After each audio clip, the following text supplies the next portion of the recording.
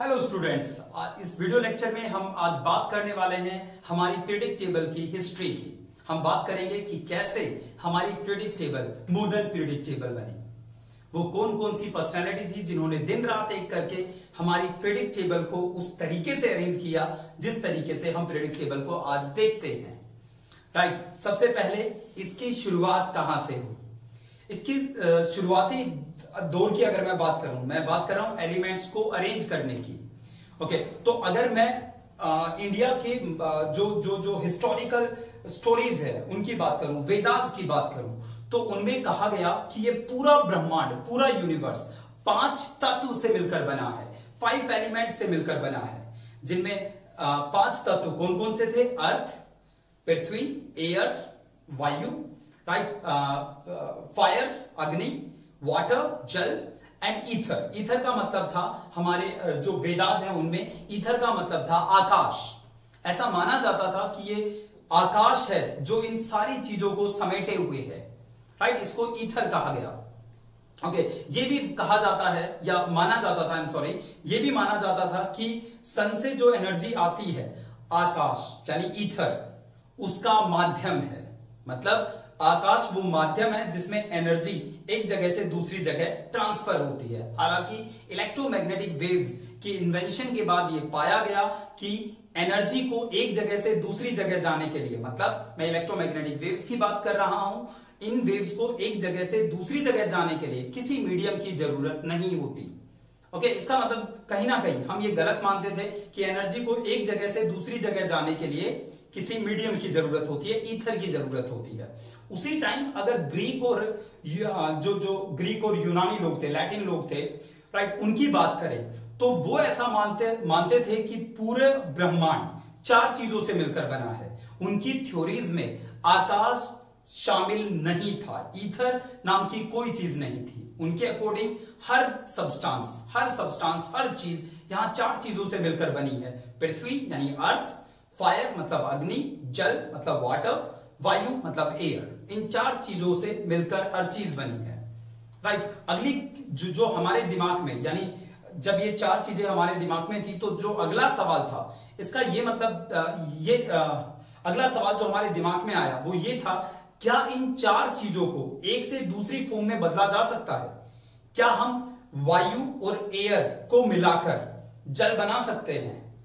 या जल और वायु को मिलाकर फायर जनरेट की जा सकती है। ये सारे सवाल हमारे दिमाग में थे।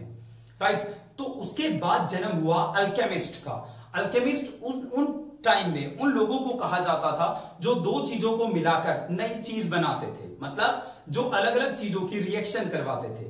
उन्हें उस टाइम अल्केमिस्ट कहा जाता था। अल्केमिस्ट का मतलब होता था उस टाइम जादूगर। मतलब जो केमिकल्स के साथ जादू करते हैं। जो हम लैब में बहुत आम तरीके से आज कर देते हैं। उस टाइम में ये रिएक्शंस बड़ी बातें हुआ करती थी।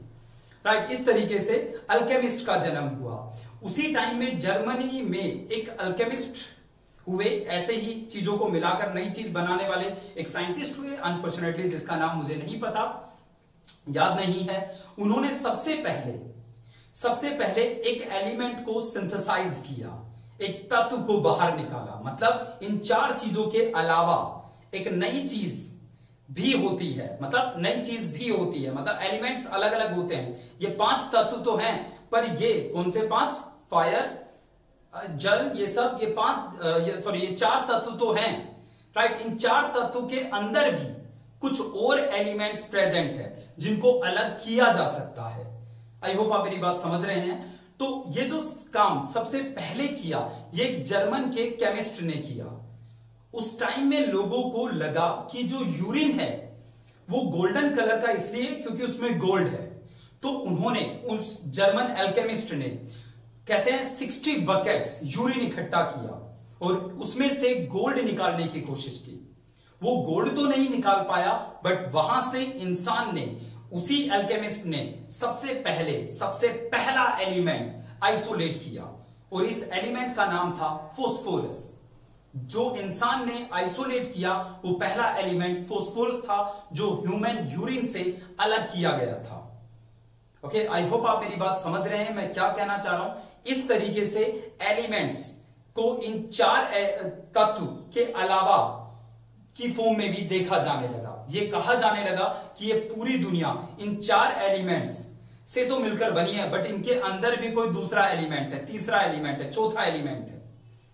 राइट ओके यानी आग को बनने के लिए, जल को बनने के लिए शायद उससे भी छोटे किसी एलिमेंट की ज़रूरत है। तो इस तरीके से हमने एलिमेंट्स को आइसोलेट करना स्टार्ट किया एलिमेंट्स को पढ़ना स्टार्ट किया। वायु वायु के अंदर क्या है, ये जानने की हमने कोशिश स्टार्ट की। राइट और इस तरीके से हमारे पास बहुत सारे एलिमेंट्स आने लगे। एलिमेंट्स को अरेंज करने का काम, जो हमारी प्रेडिक्ट टेबल है, मैं कह सकता हूँ इसके इसके आ, इसके ओरिजिन की कहानी 1817 में स्टार्ट हुई 1817 में। यानी अब से लगभग 200 साल पहले 200 साल से भी ज़्यादा हो गए 2017 में हो गए होंगे 200 साल तो। आ, 203 साल हो गए अब तो अगर मैं दो 2020 की बात करूँ तो। तो 203 साल पहले 203 इयर्स बिफोर एक साइंटिस्ट हुए जोहान वोल्फकैंग डोबिनियर इसको जोहान नहीं पढ़ना जो नहीं पढ़ना जो पढ़ना है जोहान वोल्फकैंग डोबिनियर इन्होंने एलिमेंट्स को अरेंज करने का काम स्टार्ट किया। इन्होंने एलिमेंट्स को कैसे अरेंज किया? देखिए, समझिए, इन्होंने क्या किया? एक लाइट एलिमेंट लिया। लाइट एलिमेंट से मेरा मतलब जिसका एटॉमिक मास कम था, जो हल्का था। हल्के से मेरा मतलब जिसका एटॉमिक मास कम है। और एक हैवी एलिमेंट लिया, जिसका एटॉमिक मास ज़्यादा था। राइट और इन, एक लाइट एलिमेंट एक हैवी एलिमेंट और इनके एटॉमिक मास का एवरेज लिया। और ये देखा, जो ये एवरेज आया है, जो ये एवरेज आया है, इस एटॉमिक मास का कौन सा एलिमेंट है? और उस एलिमेंट को इन दोनों के बीच में रख दिया। मैं ए लिख रहा हूँ। ए का मतलब एवरेज एलिमेंट जिसका एटॉमिक मास इन दोनों के एवरेज था। राइट जैसे लिथियम लिथियम का एटॉमिक मास सेवन राइट और एक इन्होंने उठाया पोटेशियम जिसका एटॉमिक मास था thirty nine thirty nine plus seven thirty nine plus seven by two is equal to twenty three इन्होंने ऐसा एलिमेंट सर्च किया जिसका एटॉमिक मास 23 था और उस एलिमेंट को इन दोनों के बीच में रख दिया और वो एलिमेंट था सोडियम जिसका एटॉमिक मास 23 था। ओके और इन्होंने ये कहा कि इन तीनों एलिमेंट की प्रॉपर्टी एक जैसी होगी। ओके तो डोबिनियर ने तीन तीन एलिमेंट्स का गुच्छा बनाया ग्रुपिंग की। एक ग्रुप में तीन एलिमेंट, फिर अगले ग्रुप में तीन एलिमेंट, फिर अगले ग्रुप में तीन एलिमेंट, ऐसे एलिमेंट्स को रखा। याद रखो, ये 200 साल पहले की कहानी है। राइट अगली जो ट्राइड तो हम इसे ट्राइड कहेंगे क्योंकि तीन एलिमेंट है इसमें। अगला ट्राइड जो इन्होंने बनाया, वो बनाया, अगला तो मुझे नहीं पता बट जो एक और ट्राइड मतलब ऐसे काफ़ी ट्राइड बनाए थे। एक और ट्राइड जो बनाया उसमें था आयरन निकल और बीच में रखा कोबाल्ट। एक ट्राइड ये भी था जो डोबिनियर ने दिया था आयोडीन, क्लोरीन और इनका एवरेज ब्रोमिन। ओके, देखिए बच्चों, ये जो टायर्ड आप देख रहे हो, ये तीन एलिमेंट्स का जो जो जो ग्रुपिंग आप देख रहे हो, ये मॉडर्न प्रिडिक्टेबल में भी देखने को मिलती है। आज की प्रिडिक्टेबल अगर आप देखेंगे तो उनमें भी लिथियम सोडियम पोटेशियम एक साथ है। आयरन कोबाल्ट निकल एक साथ है। आयोडीन ब्रोमिन क्लोरीन एक साथ है। यानी आज की प्रिडिक्टेबल में भी ये ट्रेंड हमें देखने को मिलता है। ये अलग बात है कि मॉडर्न प्रिडिक्टेबल इस तरह की टेबल से कहीं आगे है। वो सिर्फ़ इन तीन एलिमेंट्स का ग्रुपिंग नहीं करती, बल्कि बहुत सारे एलिमेंट्स को एक साथ दिखा देती है, जो कि डोमिनियन नहीं कर पाया। वो सिर्फ़ एक ग्रुप में तीन ही एलिमेंट्स को रख पाया। राइट ओके बट ये काम 203 साल पहले किया था उन्होंने। राइट टाइम के साथ साथ इंसान ने सिर्फ़ एलिमेंट्स नहीं, बल्कि बड़ी बड़ी और भी इन्वेंशन की, जो जिससे कि एलिमेंट्स को आइसोलेट करना एटॉमिक मास जानना, उसके लिए और ज़्यादा एक्यूरेट होता गया। तो ऑब्वियस बात है कि आज की प्रिडिक्टेबल इससे तो आगे होगी बट 203 साल पहले अगर आप जाओ तो ये काम भी छोटा नहीं लगता। राइट तो इस तरीके से डोबिनियर ने एलिमेंट्स को सबसे पहले अरेंज करने की कोशिश की। राइट और इस अरेंजमेंट के तरीके को हम लॉ ऑफ़ ट्राइड्स के नाम से जानते हैं। इसके बाद 1865 में 1865 में न्यूलैंड्स ऑक्टेव्स रूल आया। राइट वो देखते हैं न्यूलैंड्स ऑक्टेव्स रूल क्या था। यस yes, बच्चों इसके बाद यानी 1817 के बाद एक और महान साइंटिस्ट हमारे सामने आए जिन्होंने एलिमेंट्स को अरेंज करने का काम किया। उनका नाम था John Alexander Newland. John Alexander Newland नाम था इनका। इन्होंने जो रूल दिया, जो ला दिया एलिमेंट्स को अरेंज करने का, हमने उस ला को नाम दिया Newlands law of octaves octaves का मतलब यहाँ ऑक्ट का मतलब आठ होता है। तो आठ कुछ ना कुछ है यहाँ। राइट आई थिंक आपने ये पहले भी डिस्कस किया होगा टेंथ या नाइन्थ में। बट दोबारा देखिए। न्यूलैंड ने क्या सॉरी न्यूलैंड ने क्या किया? जो हल्के एलिमेंट्स थे, उनको अरेंज करना स्टार्ट किया।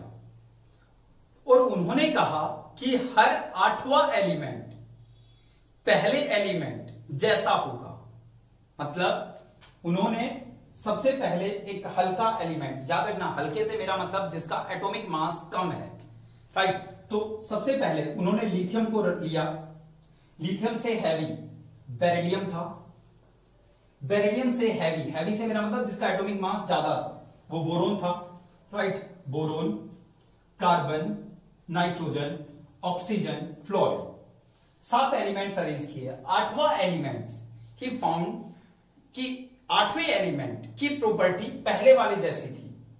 राइट यानी आठवें पे आने वाला था सोडियम उस टाइम नोबल गैसेस इन्वेंट नहीं हुई थी। राइट 1865 नो या 1865 की बात है ये। राइट इसके चार साल बाद फिर एक पीरियडिक टेबल आई जिसने बहुत बड़ा नाम कमाया पूरी दुनिया में। तो 1865 की बात है ओके तो उस टाइम तक नोबल गैसेस के बारे में हमें ज़्यादा नहीं पता था तो नोबल गैसेस का यहाँ ज़िक्र नहीं किया गया। ओके आठवां एलिमेंट जो आया, वो सोडियम था। एंड ही फाउंड आठवां एलिमेंट यहाँ ना लिखकर उसने यहाँ लिखा। और ये कहा आठवां एलिमेंट पहले एलिमेंट जैसा है। मतलब सोडियम, लिथियम जैसा है। राइट इनकी प्रॉपर्टी मैच करती है। दोनों मेटल्स हैं, दोनों रिएक्टिव मेटल्स हैं। ओके चलिए। अच्छी मेटल्स है, मैं कह सकता हूँ। ओके सोडियम के बाद इन्होंने यहाँ अरेंज किया मैग्नीशियम को।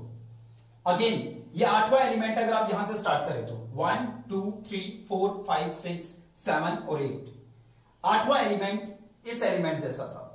राइट इसके बाद इन्होंने एल्यूमिनियम पाया। एल्यूमिनियम के बाद सिलिकॉन, नाइट्रोजन के बाद फोस्फोर्स, ऑक्सीजन के बाद सल्फ़र। ये आठवां है। सॉरी, ये आठवां है, अगर यहाँ से आप स्टार्ट करेंगे तो। फ्लोरिन के बाद क्लोरिन, राइट? क्लोरिन के बाद अगर यहाँ नीचे आए तो पोटेशियम पोटेशियम के बाद कैल्शियम, राइट? इस तरीके से एलिमेंट्स को, यहाँ उन्होंने नहीं लिखा, क्योंकि 1865 में गैलियम आई थिंक इन्वेंट ही नहीं था। And not I think I am sure गैलेडियम उसके बाद, उसके काफ़ी दिन बाद खोजा गया है। तो यहाँ पे उसने किसी को नहीं लिखा। बट उन्होंने अपना रूल दिया। उन्होंने एक नया ला दिया। उन्होंने कहा, इस नियम के अनुसार हर आठवां एलिमेंट पहले एलिमेंट जैसा होगा। अगर आप उनको एटॉमिक मास के इंक्रीजिंग ऑर्डर में अरेंज करते हैं तो। राइट ये भी कोई छोटी बात नहीं थी। बट 1865 में पहले न्यूलैंड्स को डिस्कार्ड कर दिया गया। मतलब काफ़ी ज़्यादा रिस्पॉन्स नहीं मिला उसके इस पीरियडिक टेबल को, इस अरेंजमेंट को। हालाँकि बाद में हम देखा गया कि जो जो न्यूलैंड कह रहा है, वो छोटी बात नहीं है। उसमें भी काफ़ी एलिमेंट्स की प्रॉपर्टीज़ को समझने में हमारी हेल्प की। ज़्यादा नहीं, उस टाइम वो अपनी पीरियडिक टेबल में, उस, इस अरेंजमेंट में I am sorry not periodic table इस अरेंजमेंट में सिर्फ़ 40 एलिमेंट्स ही रख पाया। ये उसकी ड्रॉबैक थी। हमारे पास बहुत सारे एलिमेंट थे बट उसकी पीरियडिक टेबल में सिर्फ़ 40 एलिमेंट ही फिट बैठते थे। वो एलिमेंट जिनका एटॉमिक मास ज़्यादा था राइट right? ऐसे एलिमेंट्स के लिए कोई जगह नहीं थी न्यूलैंड के इस ओक्टेव में। मतलब हैवी एलिमेंट्स को जब रखते थे तो हम पाते थे हम गलत है। आठवां एलिमेंट पहले एलिमेंट जैसा नहीं था। टंगस्टन की बात करें रेनियम रोडियम ओस्मियम इन एलिमेंट्स इंडियम इन एलिमेंट्स की बात करें तो ऑक्टेव्स की प्रिडिक्टेबल में हैवी एलिमेंट्स के लिए जगह नहीं थी। दूसरी बात, कुछ टाइम के बाद नोबल गैसेस भी इन्वेंट हो गई। नोबल गैसेस का कहीं कोई ज़िक्र नहीं था, ये भी इस पीरियडिक टेबल की कमी थी। ओके ये भी इस अरेंजमेंट की कमी थी। ओके तो पहले पहल, उसको ज़्यादा इज़्ज़त नहीं दी गई। बाद में लोगों ने देखा कि ऐसा नहीं है, उसकी अरेंजमेंट भी बहुत बेकार नहीं है। तो 1887 में इन्हें डेवी मेडल दिया गया इंग्लैंड की क्वीन के द्वारा। राइट इन्हें डेवी मेडल से नवाजा गया।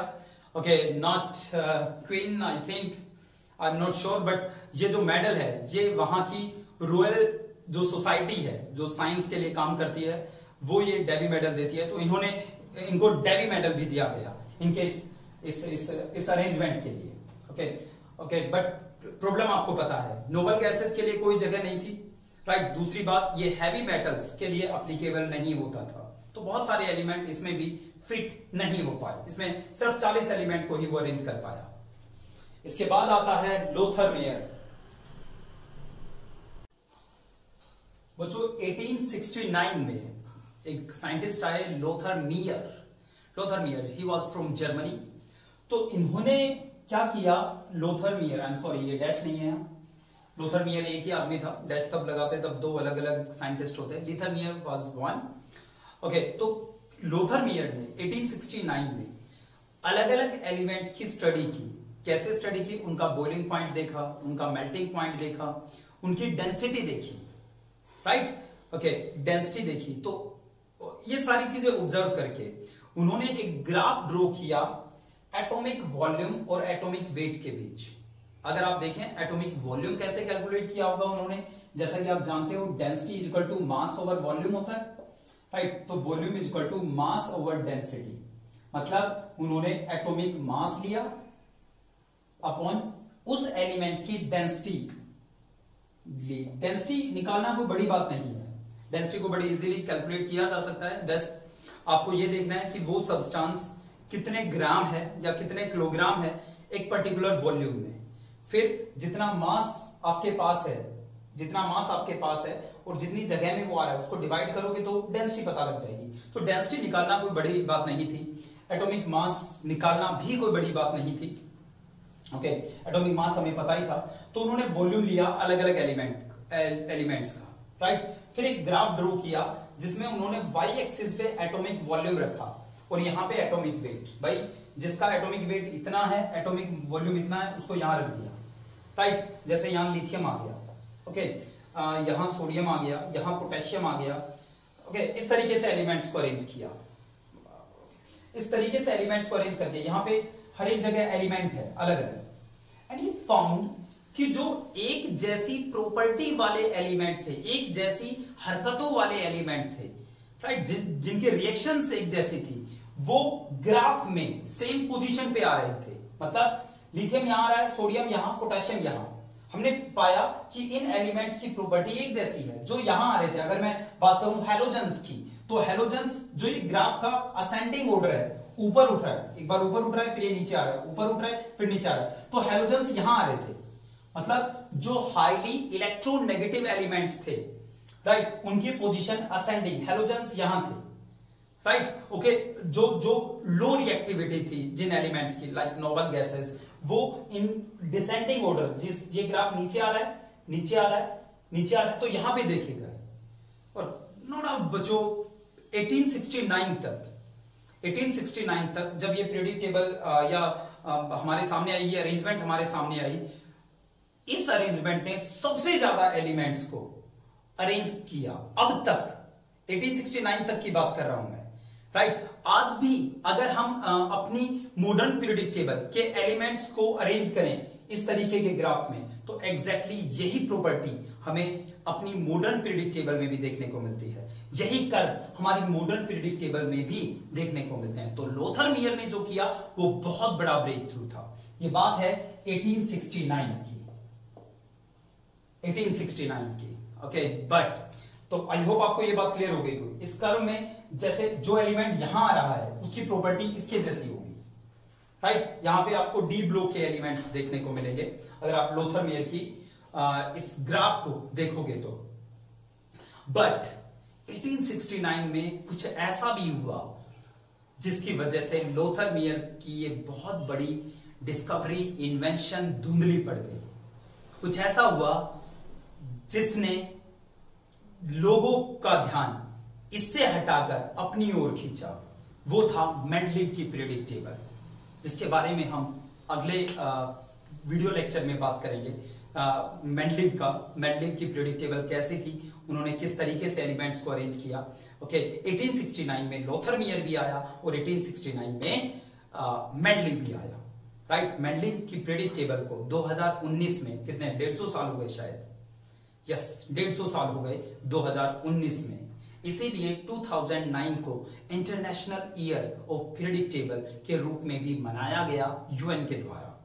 अगर आप सर्च करेंगे यूएन ईयर ऑफ़ 2019 तो आप पाएँगे यूएन के according 2019 was the year of periodic table because ये वो साल था जिस साल मैंडलिव के पीरियडिक टेबल दिए डेढ़ सौ साल हो गए थे। ओके तो ये है नेक्स्ट में हम मैंडलिव्स की पीरियडिक टेबल की पीरियडिक टेबल पढ़ेंगे। राइट लोथर मेड ने जो किया, वो छोटी बात नहीं थी बट कुछ इससे बड़ा भी हुआ, जिसकी वजह से ये हमें छोटा लगने लगा। थैंक यू वेरी मच बच्चों।